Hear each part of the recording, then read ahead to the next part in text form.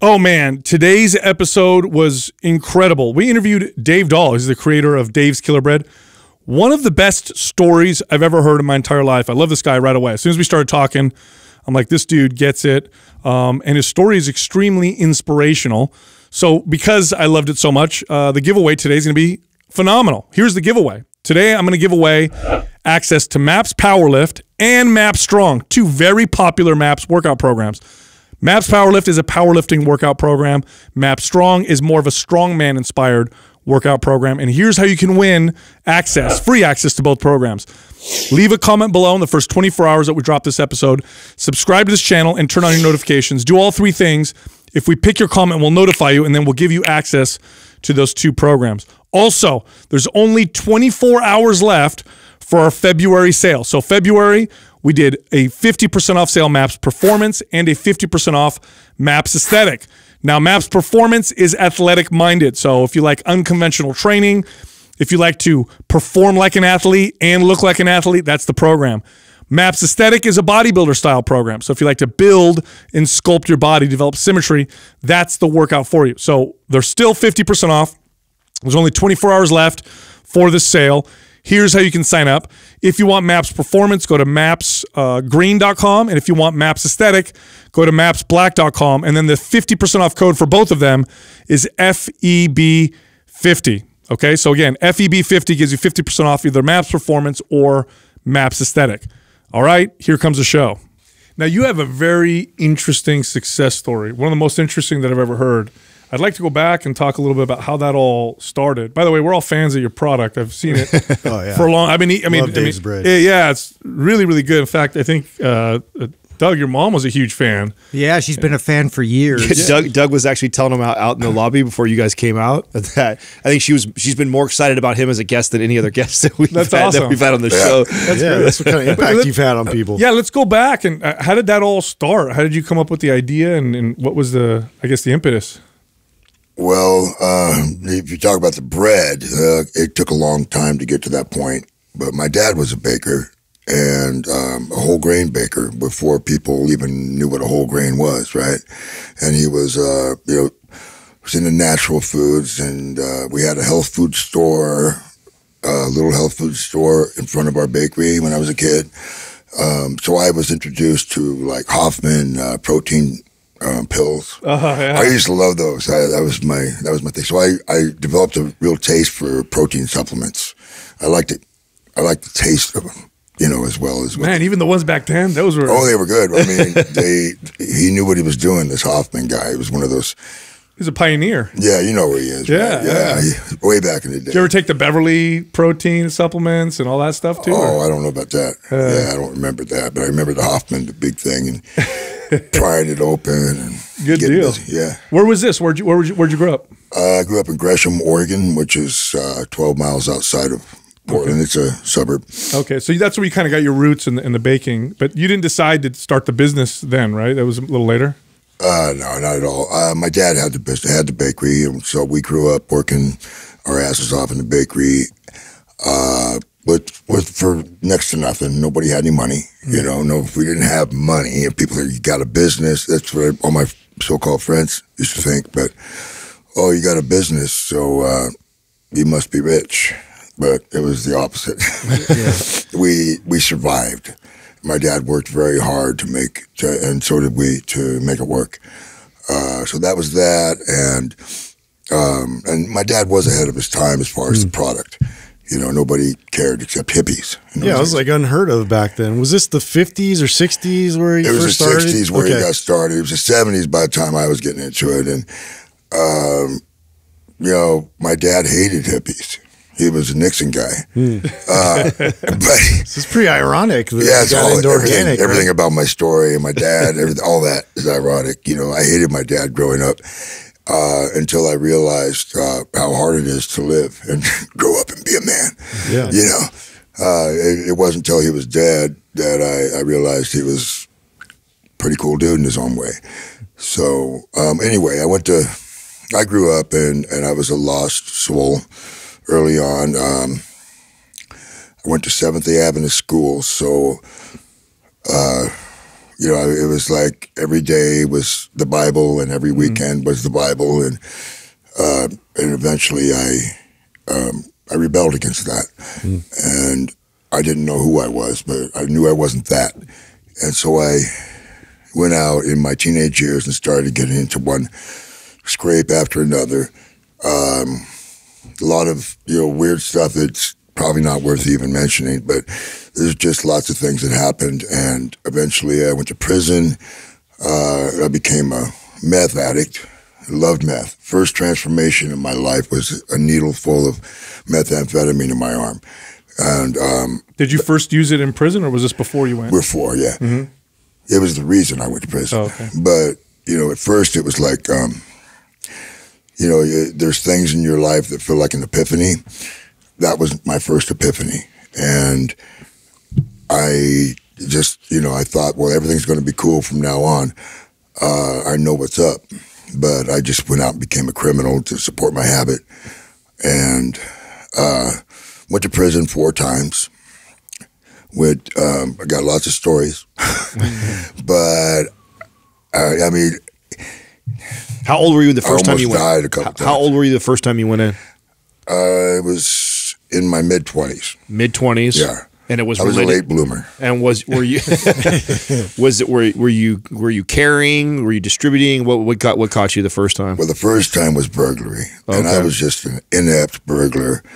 Uh, but it got me by for a while till I went to prison, and so I, that I actually look at every time I went to prison as sort of a good thing. Looking back and it, it, how it taught me a lot of things over over time, and if I needed it, you know. Um, were there each each time you went in? Were there like pivotal things that you remember learning? Like the first time, like this was the lesson I learned. The second Yeah. time I learned. Can you? Well, the first time, okay, the first three times I was trying to be a better criminal.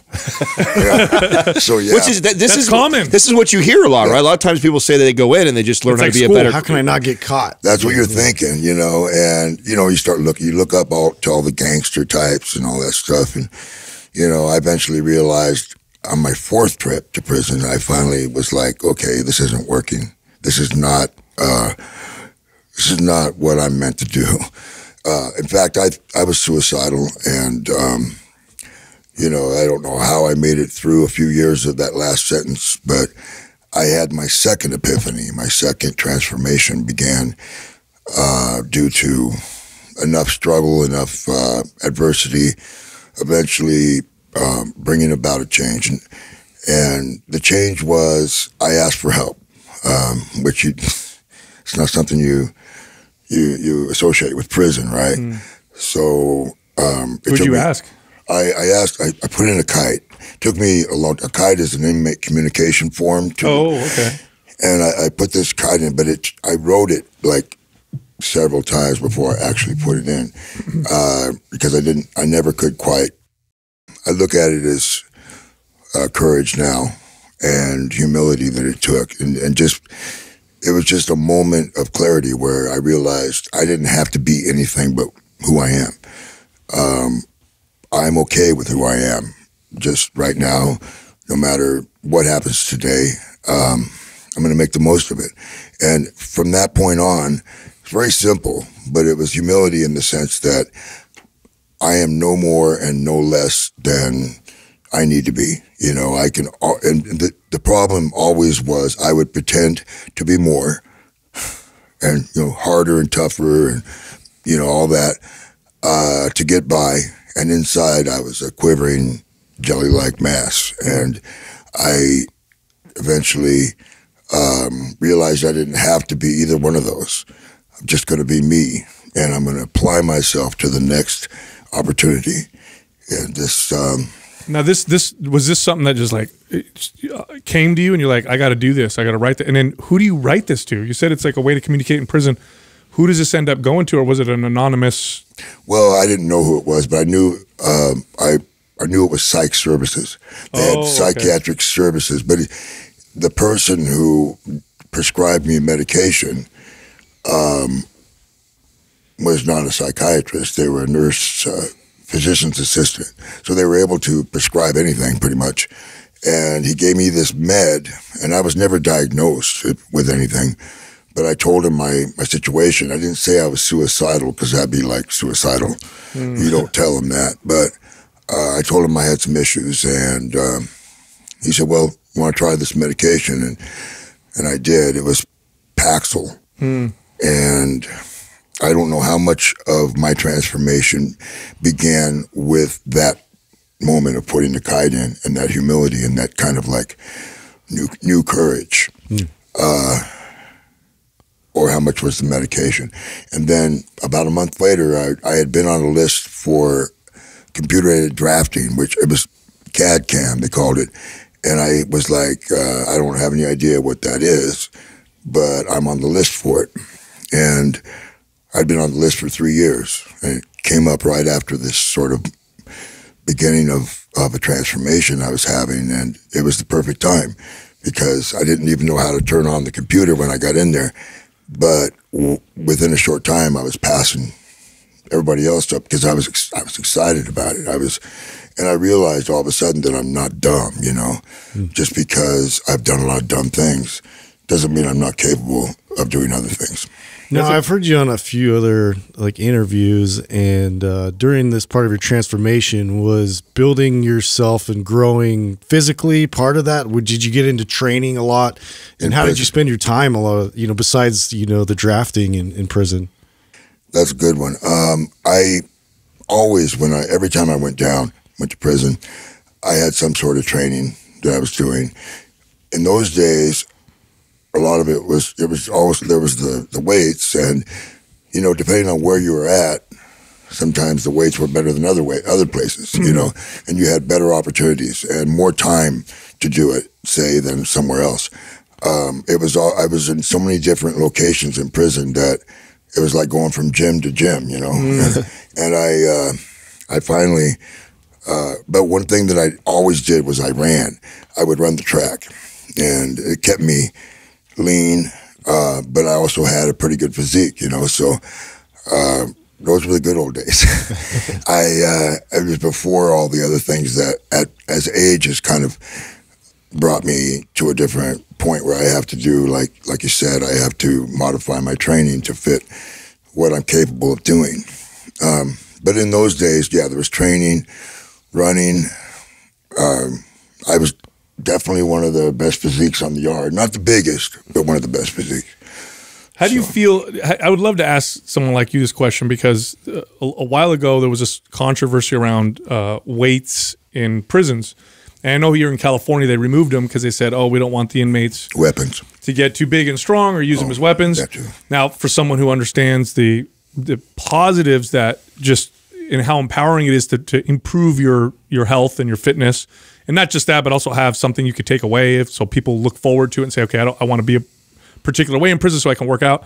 I thought it was a terrible idea. I agree. Do you agree with that? Do, do you see it as a positive? Well, this is the way I look at that. Uh, I haven't heard that particular question asked. Although when I look at, you know, when they say take it away, you know, take it away, that's not that's not the way to do it. Um, okay, maybe you build yourself. Maybe you prove yourself on another accountability uh, line. You go, um, I am. Maybe I'm just doing push-ups now because they're not going to let me use the weights. Maybe I'm doing that. You know, maybe I'm walking around a, a pillar and I'm doing a push-up and, and pillar again, two push-ups. So it gets to 21 to just see how many people make it through that. Right? It's uh, that was the kind of stuff we used to do. Um, we do whatever we had to do, but later on, uh, but I was always like bummed out when they started taking the weights and making them more restrictive and less time to use them. And um, I just think that everything should be given to people when they're ready. Yeah, I would Did, agree. each time you went in, um, was it did it get easier for you to serve the time, or do you have like a moment that was like one of the scariest times in in prison? And was that the first, the second, the third, fourth? Like, there were some scary times. Uh, there were some fights and stuff, but and and things that you know when you end up going to the hole, that's that sucks. that's it's more about that solitary confinement. Yeah. Okay. it's more about being able to take being it's more about your opportunities and when and like when you're working hard and you you find something that you can you can get into that helps your time go by and, and you know you're getting better as a person when you can do that, um, it it kind of it, it's totally different than you know what would happen to me. What was really bad in the first few years of my last sentence when I really had this moment of clarity about how bad things were. I mean, you it, you couldn't. There's no way you could say that things weren't really really bad, and. Uh, but the worst thing was my mind was that what I was happening to my situations, and I was I was I had not learned at that point in the early you know the first three times I went to prison and the half of the second fourth time. I had not yet learned that your mind is everything. You know, it, it all starts right right in your mind, and you can control. You can uh, create your future. You guys know that, but I didn't know that. I I didn't understand that easy thing. You know, It's it's simple but not easy, right? It's simple, Simple, but then simple. making that change. easy to understand. Yeah. Were you? Would you say that's the biggest difference between you and and other people who've gone through those those experiences? Because here you are uh, for for a little while there, career cr- criminal, come out and you create, and we'll get into this, an extremely successful business. Like talk about a complete reversal. yeah. But you're such a small percentage of people that end up going through those. Pro- would you? What would you say is the big difference between you and them? Was it that realization that hey, I have this ability to change my life? Would you say that's I think uh, I got lucky in the sense that things happened when I needed them to. I don't know that everybody is looking for that. The ones who are looking for that and are open and find the courage and the humility to do it, which is the big challenge. Guys in there, you know, people in general, but those guys in prison are used to instant gratification. I get, I go out and do a burglary. I have what I want. I do a, you know, I slap somebody around, take their stuff. Uh, that's instant gratification. You know, you're not going to get that in the real world, uh, in the world that we live in or that I live in now. So you have to adjust to. You have to actually learn to appreciate the process. That was a big factor for me. Like you, when you're lifting weights, uh, you you got to appreciate what you're doing at the time. You Yeah. know, like oh, I'm going to feel great. You know, ten years when I. so true? Yeah. You ain't, gotta- you ain't gotta- gonna build big muscles right now. That's gonna take a while. Yeah. And you gotta you gotta love yourself. You gotta be accepting um, of what you are capable of. I uh, being a guy who uh, appreciates some of the uh, aspects of Alcoholics Anonymous and such.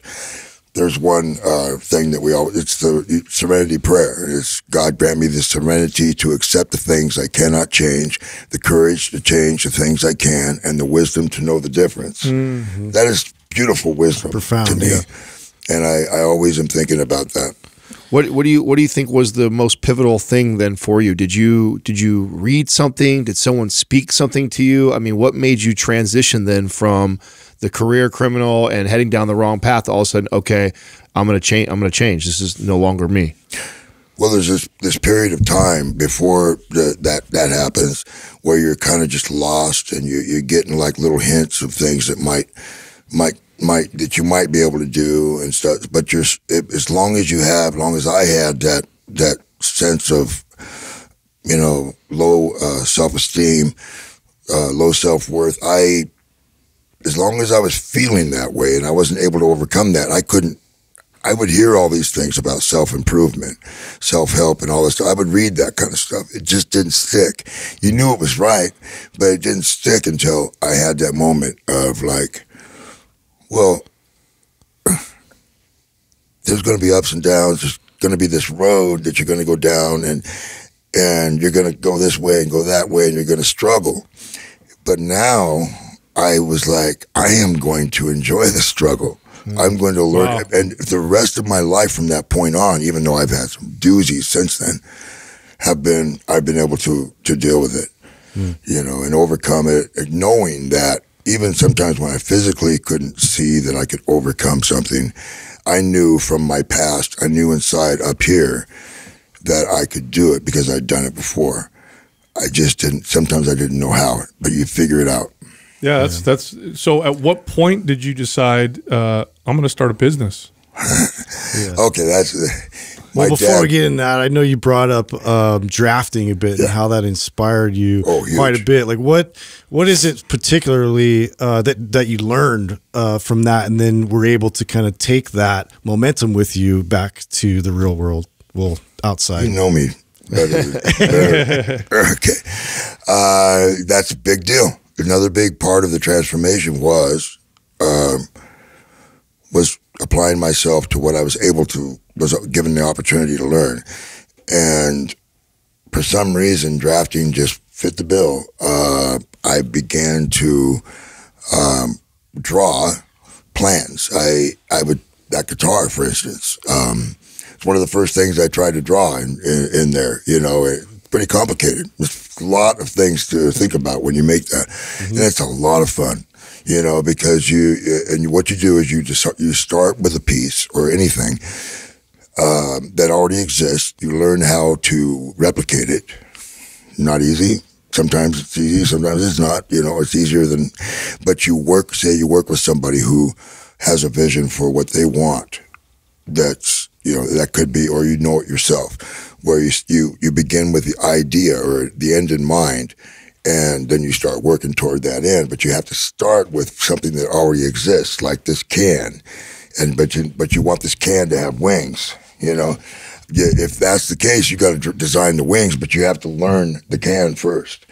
And um, I did that with lots of things in prison, and I got cut short because they put me in a drug program. I just, oh man! But it got me out two years early on a almost ten year sentence. So the point is, uh, to your point, Justin, right? yeah. Um, it was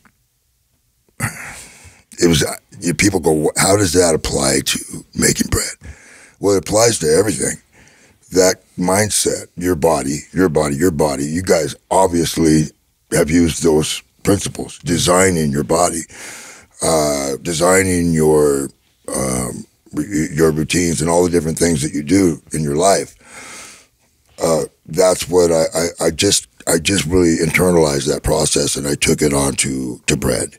My brother, the reason why I chose bread rather than say going to work for somebody else, which was what I had, had intended to do. Uh, my brother was running my fam- my dad's bakery, and my brother's like eight years older than me. And anyway, I did not want to go back to the family. It was just like the bridge was I did not see that bridge uh, anymore. I didn't want to go back. Um, but I, I all of a sudden, I started dreaming. Excuse me. I started dreaming um, about the bakery. It was weird. Like literally having dreams? Yeah. Oh, wow. They were nightmares. Because everything I Yeah, could 'cause you remember. didn't enjoy it, right? Yeah. I was like, I, why would I want to go back to this? Yeah. Oh, Yeah. weird. Yeah, because I had oh, I guess lots of stories. But uh, you would think bakery or what's the big deal, right? But it is kind of in its own way. And um, anyway, so my brother gave me the chance. He kind of has always known that I was I was a little bit creative. I just never replied it right. I get out there, and first thing I did for my brother it was like a few days out of, of prison. It was early 2005, very early and uh, I just went to work filling in for people that didn't make it, and that was happening all the time. It wasn't long until I was 40 hours, 50 hours a week, and I started envisioning how I was going to make these products. And I told my brother, "Look, I'm going to work 100 hours a week, you know, maybe, you know, whatever, a lot of hours, and you're not going to want to pay me by the hour." I shouldn't have done that. that was, but You would have made more. it turned out all right though. Uh, I I made this bread. Uh, first, it was like cookies. He wanted me to update the cookies that that we made uh, for Trader Joe's. He wanted to make them healthier, so I design. I just replaced ingredients, and I even added a a new variety. And Did, now, did you at this point did you realize you had a talent for this? Were you like, hey, I'm, I'm Yeah, and this? also, are you? I could see my way to the end product. It was like it, it wasn't even about me. It was about the, the process. You know what I mean? yeah. So you had this talent and you didn't even know. it was a natural. It was like breathing to me. You know, it still is. I would I would love to be back there doing it. I mean, were you having to uh, to? I mean, because you just said that like it was so easy, but it's like for I couldn't I couldn't bake if my life depended on it, and I so couldn't be as big as you. well, probably. h- how did you know? How did you know? Uh, what as pretty as- what ingredients? What, thank you, thank you, thank you, thank you, Dave. That's prison What talking. what what ingredients? you don't wanna- you don't want to hear that in prison. a little nervous over here now. No, I mean, I, I wouldn't even know what ingredients to put with what to make it taste a certain way or to quote unquote make it healthier. So, were you reading and studying about this beforehand, or did you literally just just take a shot at it and start knowing what you're doing? Well, I, I warmed up with the cookies. They were fairly simple. The cookies are simpler than than um, bread. Bread is a much more complex sort of uh, process and everything that, that goes. The science into it is really challenging. Um, so I did the cookies, and then uh, I guess I mean, what it was is I was really just getting going. I'm like, okay, I got 20 more kinds of cookies I'm going to make, and my brother goes, "We don't really make cookies. We make bread. You see that? See that?" Uh, that line over the bread line over there. That's I want you to fill that up, and because he had been working all those years on creating something, even though everything was some old contraption, right? That he managed to make work Uh, because nobody had nobody had real money. So um, Now, did he identify the talent He? Was like, "Hey, man, you're kind of good at Yeah, and this"? how Get was it that he gave Well, you a knew it. chance coming out of prison? Because Yeah. I, I would think that, like, depending on your guys' relationship, mm-hmm. like, uh, was he worried at all that like you Oh, weren't yeah. going to take it seriously? no, he was worried that I would fuck up again because that's mm. that was the his, my history. But he also saw that something had changed in me. Mm. So he was uh, he was in a good place, you know, with it. Um, but there was that the the past always is there, you know. So uh, plus I was very high strung, you know. I was just like moving really fast and making everybody uncomfortable because I'm just I'm just doing this. All of a sudden I'm making new products. Nobody wants a bunch of stuff that's going to make them have to work harder or whatever. You know? so nobody really saw. So what it was, uh, to to your question, it was like um, it was easy in the same way that drafting was easy. So you, because I knew the process, I knew that I didn't think I was going to be a millionaire. What I knew and and thought is that I would be um, make a make a successful products. I would I would improve the the family's standing in the community or in the business and the community, and I, I just that's how I saw it. I didn't have huge dreams about it. I was like incremental. Um, and I, but the thing was, it was the summer of the year that I got out, so it was eight months after I got out that I was able to take four varieties. I had six ready to go, but we said let's just do four of bread to the farmers market. Things just kind of fell into a place again. This is one of those beautiful things that happens that, that happened with Dave's Killer Bread. It, I they had something at the farmers market called the Summer Loaf. It was a bread festival, bread fair, where all these artisan bakers around town could bring their little products. It was great, you know. I mean, but they didn't have it before or since, but they had it that year. Are you so are you competitive? Wow. Do you have a competitive streak? Are you Oh competitive? well, I, I, it's not that I'm. I just I, I strive. I strive, you know, and I don't hold myself like like I would hate to be in the workout, have to work out with you guys. You know, I couldn't. I knew I Oh, couldn't compete, so it'd be like there's there's no compet, there's no competition there. It's more like, wow, you guys, okay, I can learn something. though. I can learn something. That's that humility coming in again, right there. Yeah, it's so important. Hum- Humility makes it possible to learn. yeah. Absolutely. Yeah. Well, right now you're teaching right now, so that's good. yeah. uh, being, being, being uh, you know, I- I'm looking at revisiting a lot of things, and that's that's always good. So the the company itself was there's a different name for the bread that your brother was was creating and making, and what what led Nature to the Bake. decision of of it sort of being becoming Dave's Killer Bread? Like, uh, Yeah. how did that come about? Everybody regretted that. Which, by the way, that's smart. I think that was smart marketing. You know, It's funny, but it's all natural. It's like when people, some when you when you try too hard to uh, to be a, to market something, it's different than when it comes natural like that. Well, you, they think, well, it's genius marketing. Well, okay, you go to prison for 15 years and for you know four times for 15 years and almost die and get beat up by the cops and well, all the different things and and uh, and then get out and do your thing, and you'll have the same kind of marketing opportunity. It's a blueprint right there. but for me, I did. I understood marketing in the very simplest ways, uh, terms that, um, if you, you know, you, you got to create what somebody wants. Now the thing is, and, and there's certain features and benefits that you look for that you want to put in your product, right? Um, and I, I thought that I could go and do surveys and find out what people wanted. Right? To a degree, you can do that, but you know the fact is, people don't really know what they want. They know they want to, a healthy product. They know they want you know this, this, and this, and this, but they don't. They could never tell me how to make. They could never say, "Oh, I want that bread." Uh, Did you read about business and stuff, or were you just thinking this? Well, I, I think there's a certain amount of it that, that comes from growing up in the family. Yeah. That was we were knuckleheads, but There's a famous quote from I think it was Henry Ford. He said, "If I had done, given people what they want, I would have built a better horse carriage." right, exactly. Good luck. Yeah, yeah. That's exact. That's exactly what I'm saying. Uh, I never heard that quote, but that's perfect. I was. Um, I was like that. I, I, I wanted to give do surveys. I wanted to build this product thinking using all the scientific, you know, means at my disposal. But there was no bread. There was no book that talked out about how to make killer bread. If I if you follow the science in the books, uh, you'll never make that bread. You just won't do it. Oh, your, your mind's going here, your mind's going there, but you won't make that. You'll make the bread that's already out there.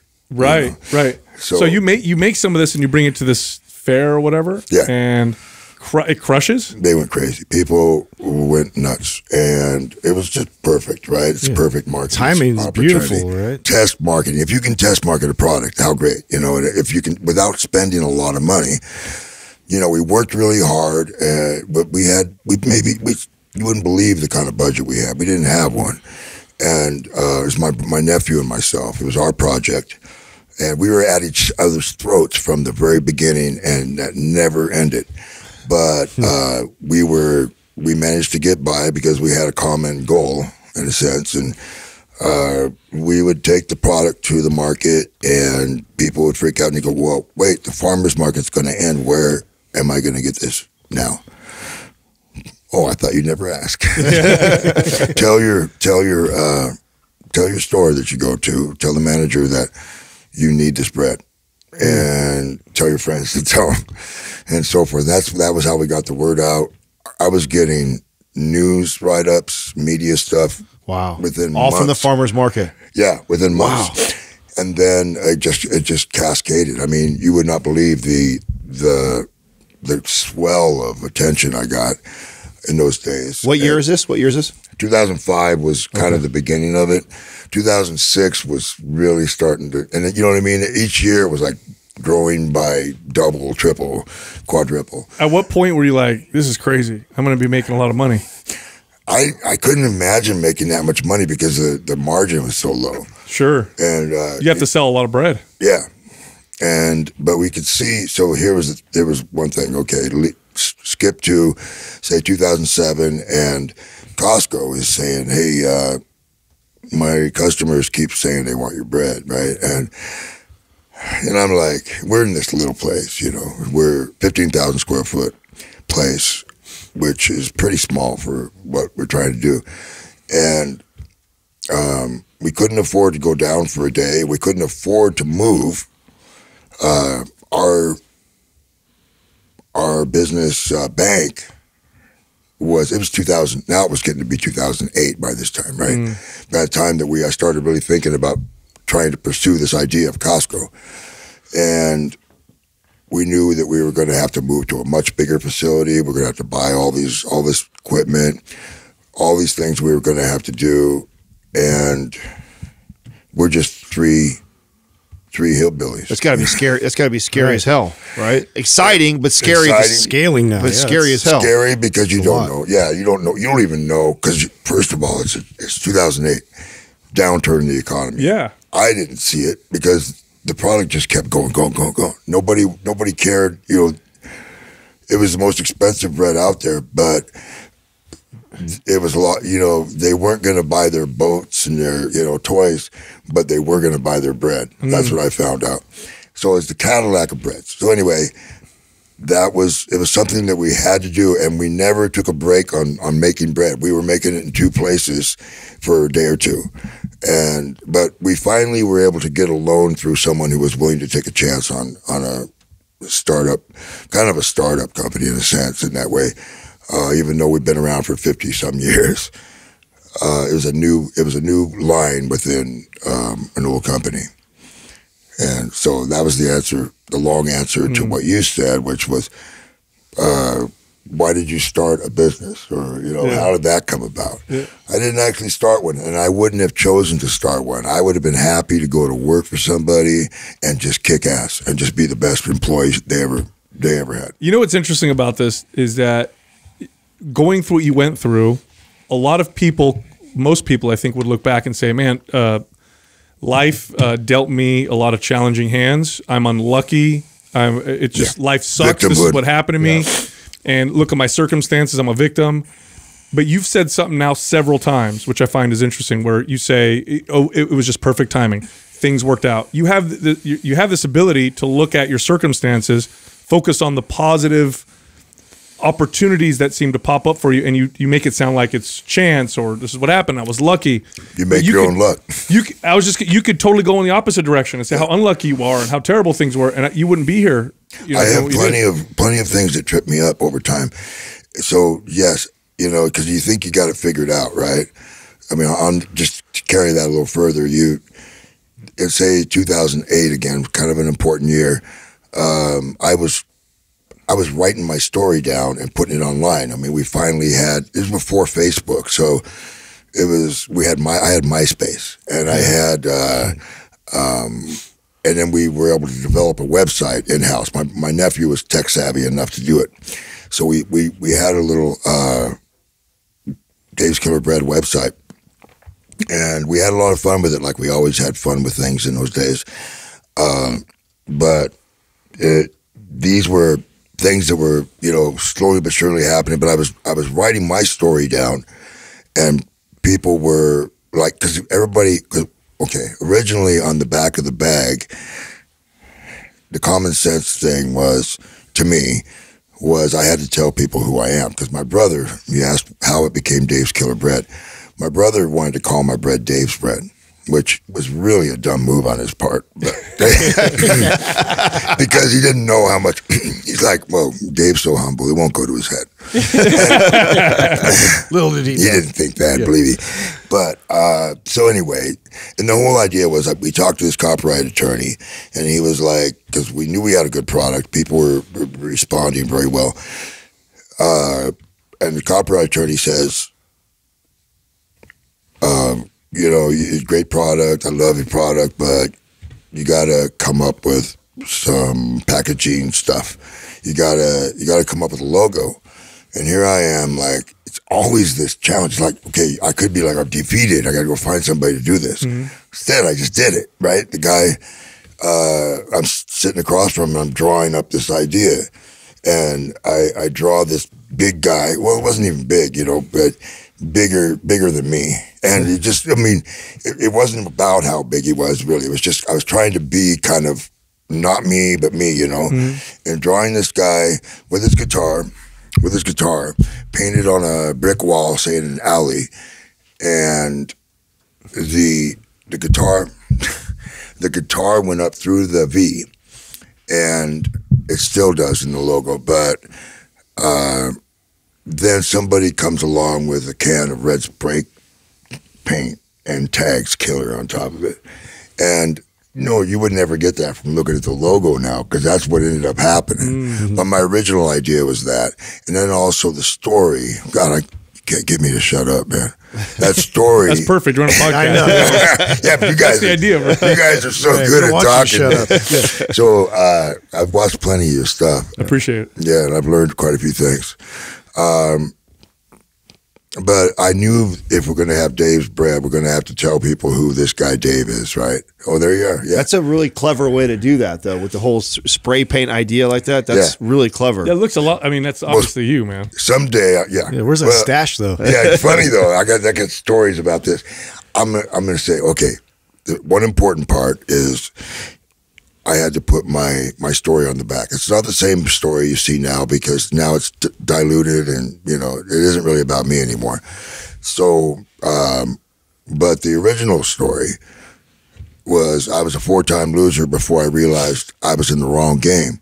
And that's what started it. And then I, I just talk about the, my transformation in prison and how I ended up making bread.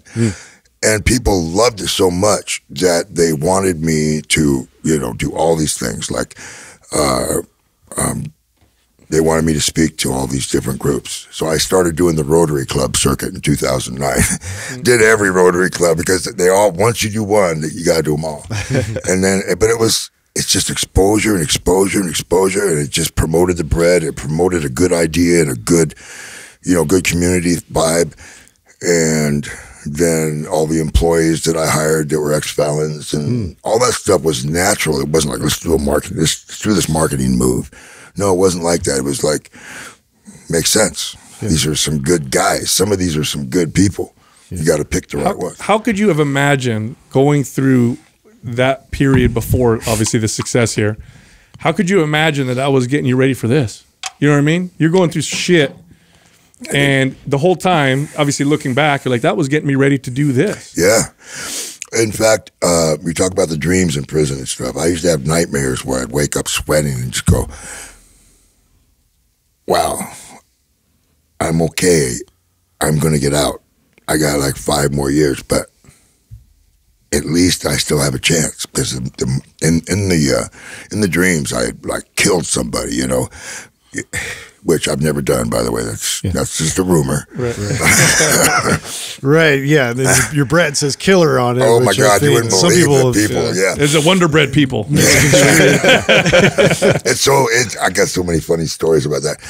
But uh yeah, it, what was I? I want to hear. I want to hear about because you, you just went over it real quick, but this is a, one of the coolest parts I think about your story is that the um, your people you employ. So pull your mic down just a little bit too, Dave. That way we can see your yeah, face. There you yeah. go, so yeah, so tell me about. wh- wh- Okay, first of all, let's let's talk about in 08, 09, This thing really starts taking off. You obviously are scaling up. You guys are probably getting into a bigger facility, mm-hmm. and now you're probably having to take on employees or Yeah. hire a bunch of people. What gives you your idea to go the direction you go, and like how does that play out? Tell me.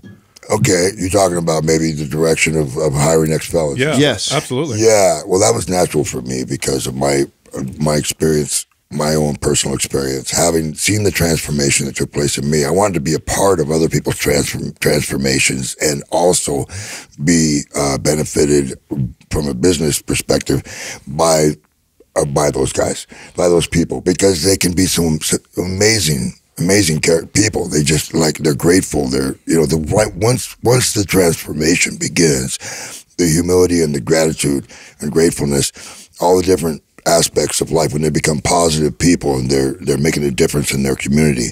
Uh, because instead of being a bad pull on society, they are a you know a push for for better things to happen.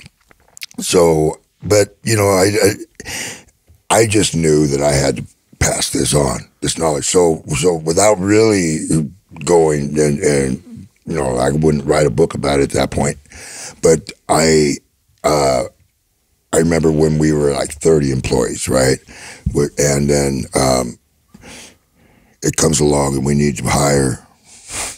Within a, several months, we had to hire uh, another 70 or 80. Yeah. So we're using temp agencies to do this because uh, they do kind of the, some of the homework and so forth. And if it didn't work out, they're gone. You know.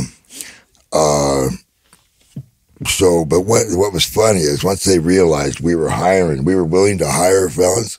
They the temp agency sent over nothing but felons, and that was never what I wanted to do. Well, yeah, because most places don't. They won't hire a felon. Yeah. So they thought, wow, this is bonanza for our felons who are make up a lot of the, the, the list of people that need work. So were you the guy who sat down and got to interview each of these felons? Because I would imagine you probably have the best pulse on if this guy's really reformed or not. I couldn't see, but at this at this point, I couldn't. I could only try to instill the philosophy and the mentality Okay. that we're looking for. Uh, but they were just sending those guys over, and I was like, once I realized they were doing that, I said, "You can't do this. I want to pick the best person. I don't care if they're felons. I don't care what. Uh, I just want the best person." And and to me, again, it's that accountability thing. It's always it's it's not a, a buzz phrase. It's not pol- political. Uh, you know, I hate politics, so uh, I I wasn't even aware of politics until the last few years, and it drives me nuts. So uh, I was happy when I was blissfully ignorant and just cause driven. So I did that with these guys, and what, and we just hired, and they they were very successful. You know, not all of them. Some of them were big jackasses, but you get that no matter what when you're hiring that many people so fast. I bet. I, bet- I bet you they. Uh, well, two things. One, you said something about them being very hard workers because they have another chance, another opportunity. Uh, I have I have experience with that um, managing gyms, and it's true. When when somebody feels like you've given them a chance and they're honest about it and they really appreciate it, you'll find nobody that's more loyal and hardworking. Um, so I'm glad you said that because I do think that that's an important thing for uh, people to hear. But I also imagine that they probably looked up to you because you were like them, but now you're successful. You're the boss. Yeah, and I and my job was to maintain humility and to to maintain being the person who got to this point, uh, and but but better if possible. So, eh, you know, that was always a struggle, and you know, I mean, I used to have parties, but I was drinking by this time. You know, um, drinking like a fish. Not really. I mean, I would drink a lot when I drank, but I wasn't really like. I, I ended up getting a lot worse, and. Uh, I would have people over at my place. You know, I had a pool, and we had a lot of fun with all the guys that, that worked for me. It was that we were like that. I wasn't a good example at that point when it comes to drinking, um, but you know, it was it was a lot of fun, and uh, I, I was no better or worse than any of these guys. You know, that was what the deal was, and um, it was many years before I actually had enough money for a down payment for my house that house. So, uh, but, but then when it got when I started making money, it started really happening. Costco is what was the big big moment. Yeah, Dude, what, I wanted to talk to you about that in terms of that big shift of like now all of a sudden you're successful and uh, you know and obviously you're you have financial means to uh, like how did that look in terms of like how did you how did you adjust and was that a really hard transition for you? Excellent uh, question and complicated. Uh, I really was successful before Dave's Killer Bread ever happened. See, it- this was the thing. That Oh, I see. This is the thing that needed to change. Once I was able to get successful in my mind, which wasn't necessarily okay. I'm going to be rich. I'm going to drive this car. I'm going to have whatever. It wasn't that. It to me, success was purpose, and you know, real purpose, and understanding. yeah, You know how I can be uh, meaningful and how I can have a meaningful life. Uh,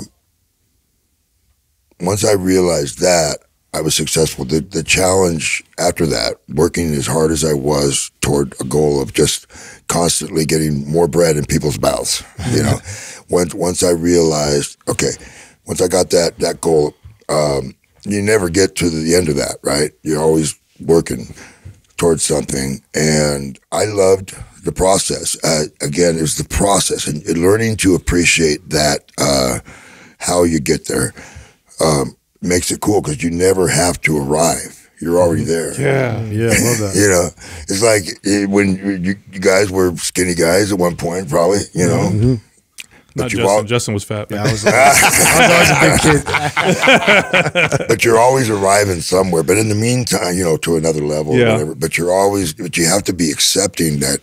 Well, this is where I'm at now. That's where I am at right now. Like like this right now. I, but I'm way better than I was three months ago. So I just got to accept that I'm just I'm on my way. Yeah, you're not doing too bad. So the, the so the, the wave of success comes in. You didn't go run out and buy yourself a Lambo, No. or just have a bunch of you know. That's called high siding. We call it. You know, in prison we used to call it high siding when you when you live above your means. Okay. And you show off. And Oh, it's so you actually about- learned some of this in in prison. I did. Okay. Yeah, because the guys who the guys who had a little bit more going on understood that, um, you know, paper tiger kind of thing, and. It, and so guys would get out, guys I knew, they'd come to work for me and stuff, and they were hard workers and everything, but they always, so many of them had a high side mentality. Yeah. I got to have this car. Well, no, you're not going to have that car right now. You're not going to have that girl right now. You know, and if you do, she'll ruin your life.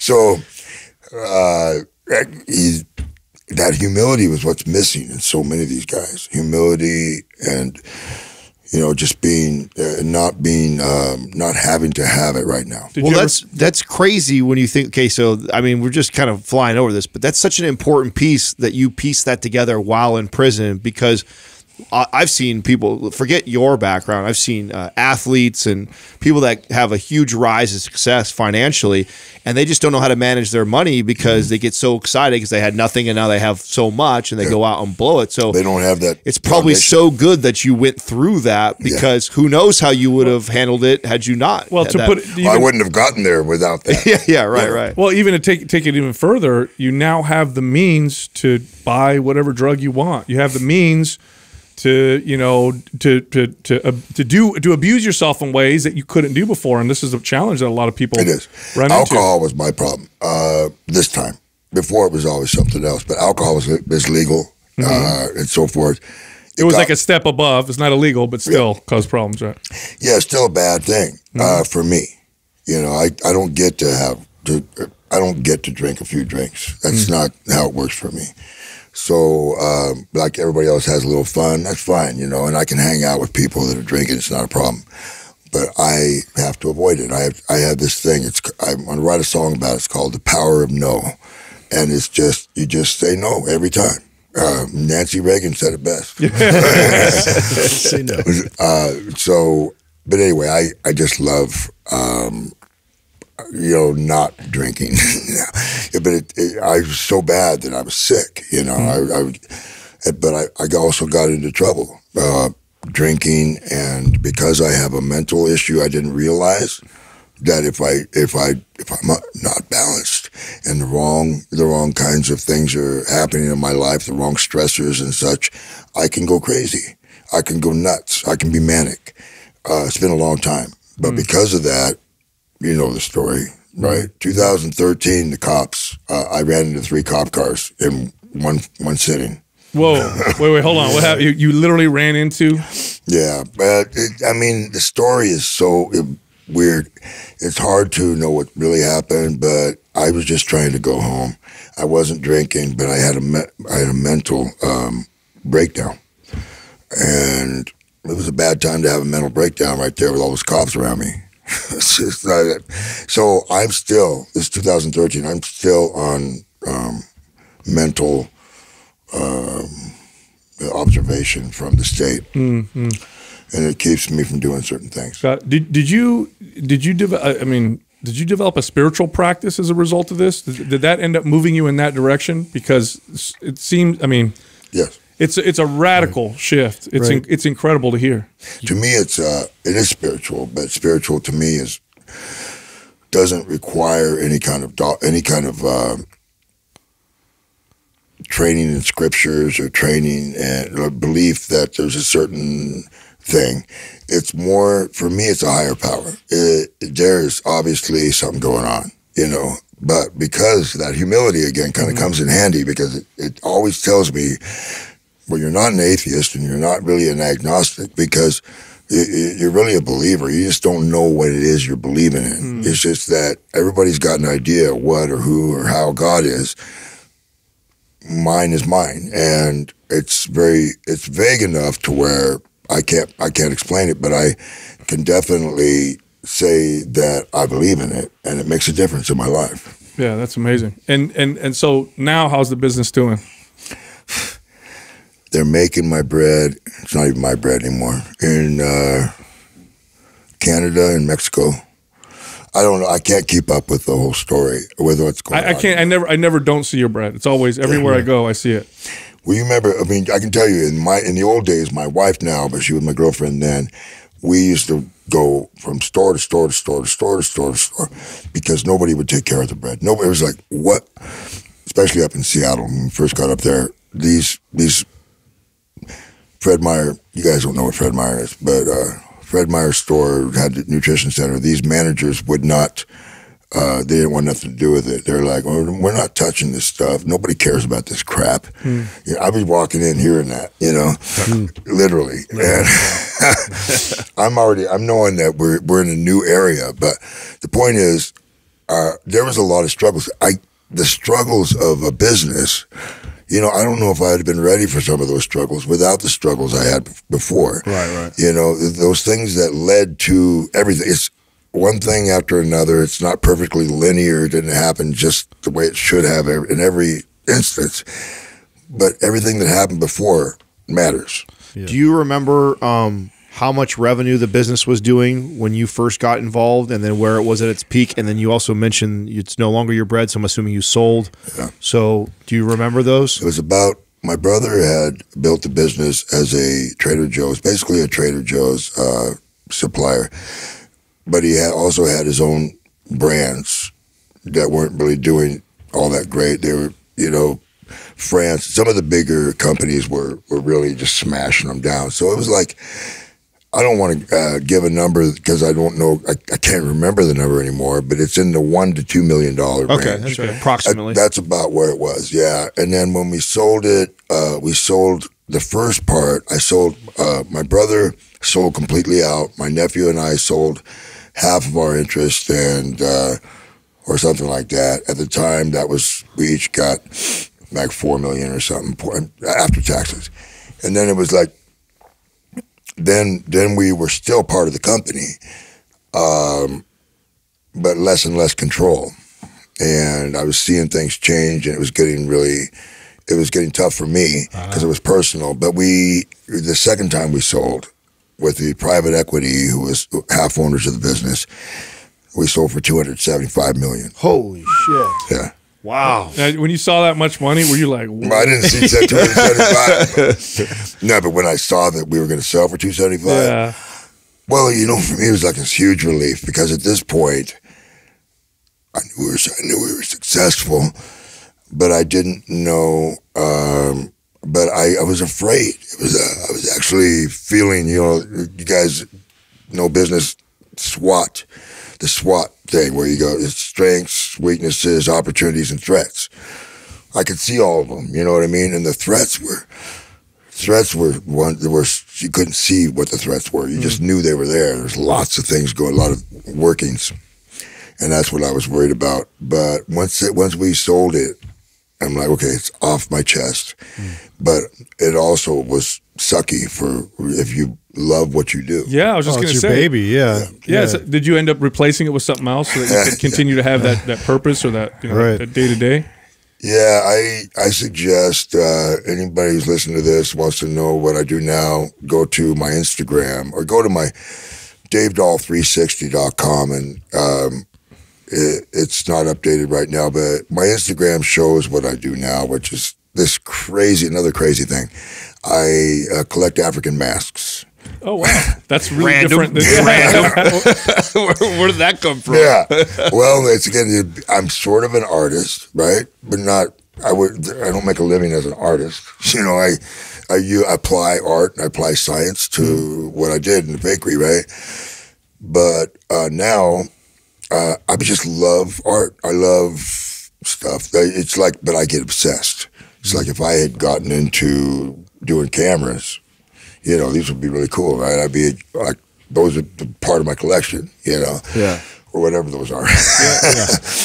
but uh, instead, when I made some money, when I actually was no longer in the business and I had to fill my time up, uh, yeah, oh wow, that's cool. yeah, those Oh, interesting. yeah, and those are all antique African art used in ceremonies and such. Hopefully, you don't got four million dollars worth, right? You didn't buy four million dollars worth Uh, of art, did you? I probably a lot more. Than that. I, I got a lot in. more than four million the second time. Yeah, I was gonna say the second time was a lot better than the first. Still, my wife is like, you know, uh, it, it- you actually can go broke still. Yeah, who's that one? What's that one celebrity? What's his name? Uh, he he he went bankrupt because he bought like a he bought like like a dinosaur egg and like a like What? and, and- and- and like a, a skull of a you know. It's just like what's his name? He was a national uh, where he tried to steal the Constitution. Oh yeah, Nicolas Cage. Nicolas Yeah. Cage. I remember reading that Yeah, too. I'm like, oh, this and- guy is. But and nobody wants the egg, right? Yeah, That's awesome. So is this where I mean, is, is this where you do spend your money? Are you into art like that? And that's where if you were to say, okay, if I enjoy myself or enjoy my money, is that how you? Because I, I, I actually kind of expected you to roll in here with like the Rolex watch and then some fancy Yeah. Gator shoes and maybe Yeah. so. Like, that's what, I was like, what shoes are not going to hurt my? I got this wart on my. It's been there for like two years, and it hurts every step I take. I didn't take it, put no Gators on it, that thing. so I'm like, that's what matters to me right now, not hurting. And uh, so anyway, and I'm not, I'm not fancy. yeah. So what do you spend your? If you're going to spend money, where do you spend money? Obviously on Uh, art. on the art, yeah. you know, family it costs money. Um, You have kids? we have a lot of property. Okay. Oh, good we- for you. Do you have any kids? I have th- two daughters, three granddaughters. Oh, Yeah. good for you. Yeah, wonderful. They've turned out great. I mean, how did that happen? and then we got uh, I my my wife has uh, four sons, and um, it's hard to keep up with all the kids that are popping. You know, uh, got another one on the way right now. Oh, congratulations. Are Yeah, the big properties family. investment properties? Or are they properties you travel to? Like, what- how do Some you? are investment properties. Some are uh, like I have a penthouse right now. I'm trying to get rid of. It's like I lived in this penthouse for while I was split up with my wife. We weren't married yet, but I was a kind of a bachelor for a couple of years, and I lived downtown in this penthouse on the top floor, 27th floor of of you know of a building down there, and. Uh, when when we got married, she didn't bother to tell me ahead of time that she didn't want to live there anymore. she She waited right. until Yeah, you signed that paper. she was kind of right though. Uh, so what we're doing is we have this property, 27, it's 32 acres now, uh, ranch farm uh, on the river, and we've always loved the land, but now we got to build the prop, build the house. Ah, okay. So that's what that's kind of another thing that I'm spending time and definitely money. You going to on. build a gym in there? Oh yeah, And are you going to use some of your drafting Maybe- skills? So What's use that? some of your drafting skills to actually draw it up. I've actually this no. is this is a dream of mine. Is actually to draw my own Oh, house. yeah. Yeah, yeah. Because I actually Oh. liked our architect. Well, I would jump if I was you. I'd be all over learning CAD the way it is now, because the CAD uh, is a lot less, a lot more user friendly. Oh, yeah? you know. It's, Oh, okay. You, there's a lot of things that are already drawn. You just pop them into place. You know, Oh, wow. you, and then you can modify them the way. What you Oh, cool. Solid modeling is well. When I left back in early 2000s, solid modeling was was the thing because you draw. I draw this can and I stretch it and make it bigger. Oh, I see. Yeah, it's a lot of fun. I'm telling you. And um, So I think the- they took all the fun of it now, out of it now, because everybody's already done that. So the gym, you going to make a sick gym in Yeah. there? I looked at your gym and I was like, okay, I'll probably have a few more machines. Oh, yeah. No, thi- this I is love all, the size of it. no, no, this is all for filming. We didn't build our dream. If we built our oh. dream gym, it would be 10 times. the Yeah, size, Yeah, You know? I, Yeah. I'm, I'm not. I'm definitely not down in it. although you would, although you would appreciate these racks that we have in here. These racks are cool. They fold away completely, so they're really nice. like squat racks. Yeah, Yeah, yeah, yeah. yeah. They're yeah. nice. They're really stable. yeah. So But you jump on them before we leave. Yeah, I'd like to see.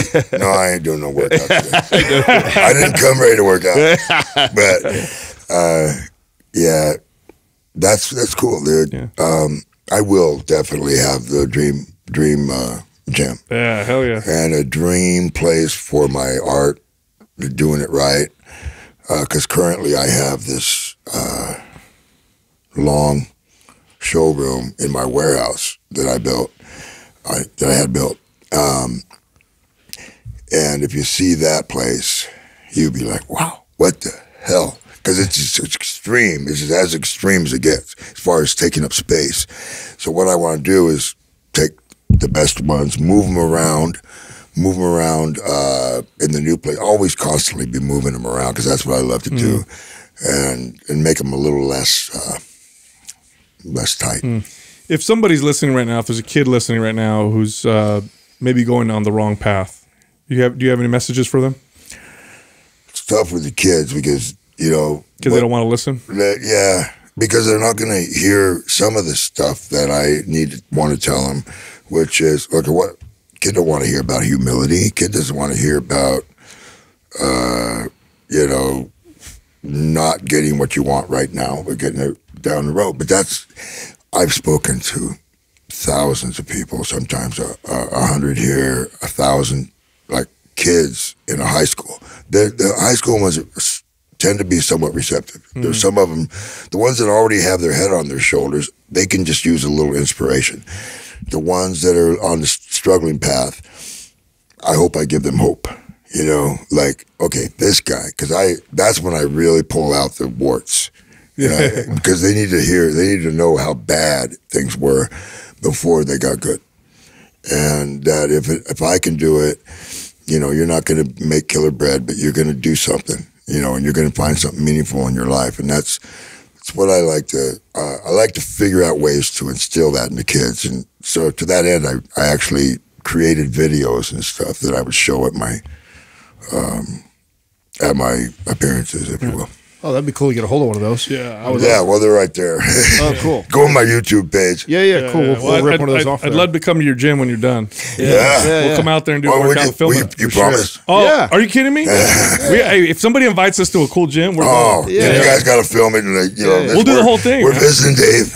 Yeah. Yeah, oh sure. man, that's a friend great Dave. idea. I love that, guys. I would love that. Oh, it's 100%, That'd man. Very- Well, you guys have become like a, a mainstay for me now. Um, since I found out who you were, I started, you know, because there's so much good information. You guys are, you just tell it like it is, and uh, I mean, you don't fight. I'm surprised.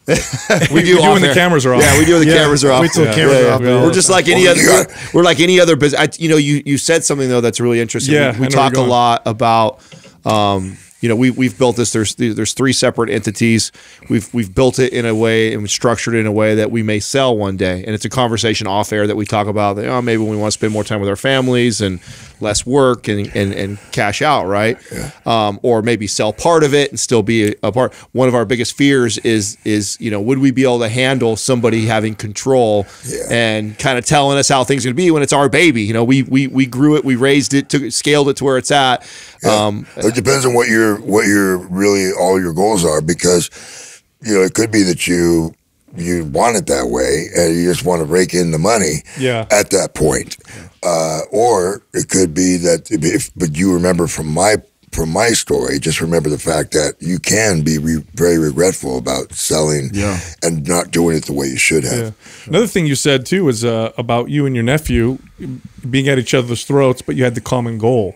yeah And uh, I mean, we we Mm-hmm. we argue and fight all the time, but the thing that trumps all that is the common goal, Yeah. and so it doesn't matter, and that makes a big We difference. wanna win. Otherwise, yeah, otherwise the fighting t- is is more important, but it's not. It's the well goal. do you, did you guys ever develop a vision and mission statement Hundred percent. okay mm-hmm. that's Yeah. that's well, what the other thing that's important that goes in line with what you said too is the humility, right? So we're all in our 40s, and so we've we've gone through. The, if we were in our 20s, not so humble, probably would have tore each other's faces off. Yeah. right right where we're at now, everybody is. We all understand that there is a common goal. That so even when we're going back and forth, no one ever gets that mad at each other because it, it's not about them. It's not about me. It's not about you. It's about winning, and we're both trying to win. And so we recognize that even the frustration that's going back and forth is with the same desired outcome of of winning and doing well. So Well, so you're way more mature than we were, but uh, but I mean we we did because we survived um, our own worst, uh, you know, tendencies, I guess, to, to as we were together. You know, because of that vision and mission statement that we mm. finally we didn't know what the hell that meant. My dad didn't know what that meant. Mm. My, you know, all these years, nobody. Well, vision and mission. There was that's voodoo. That's what my, my brother would say. And then I'd be like, but but when we figured it out, we got some help actually to figure it out that we needed to backtrack and go get some foundation here, something that we can use as a blueprint in a sense so that we don't kill each other because we mm. really were in bad bad shape. You made it though. Well, I love did, your I love your story, man. It's it's incredibly inspiring and it's empowering. I think more people need to hear stories like this, uh, especially in today's climate. Uh, you know, to um, you know have that redemptive uh, side of, of things. Like you can come back. There's a There's comeback. too many story to victims. That's right. Too many Too victims. many in this world. victims. If you have a victim mentality, victim stance, you're not going nowhere. No. You know, you might be able to get the government to give you something, but Yeah. Well, it's it's um, it's confusing empathy with uh, with being a victim. You can look, I can hear your story and say, "Man, that sucks." They went through some hard shit. But the truth is, uh, the only person that can really change things is you. And so you once you realize that, once it's you realize powerful. that, and it's a really hard thing to do because then you have to also accept that you're the, that all the problems you had were also because of you. So you got to accept both. Yep. And move forward. It's a real tough. So hearing you is inspiring because it's about as authentic as it gets. Like there's not a single word come out of your mouth that's not It's just what it is. honest. Yeah. Yep. I don't have to make up. Any, I don't have to remember any of my lies because I don't tell lies, it's a good place to except be. to my wife. once in a. We'll cut that out, Doug. you don't want to get him in No, trouble. she'll think that's funny. I think she'll think that's funny. That's good, man. Awesome. Well, I appreciate Right you coming on the show. Yeah, man. thank you, thank hey, you, and thanks for listening to our show. That makes me really happy that you Yeah, like our show. Well, it's a good show. Yeah, yeah. Appreciate, Appreciate it. you, man. Awesome. Thank I you. wish you all the success. Same. Thank you.